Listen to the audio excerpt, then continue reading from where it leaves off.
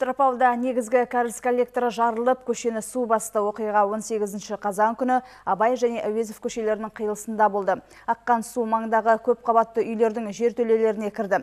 Қазір коммуналдық апат болған орында Қызылжар су жауапкершілігі шектеулі серіктестігінің төрт жөндеу бригадасы кәріз суын сорып, апат себептін анықтау үшін учаскеде тексеріс жұмыстарын жүргізіп жатыр.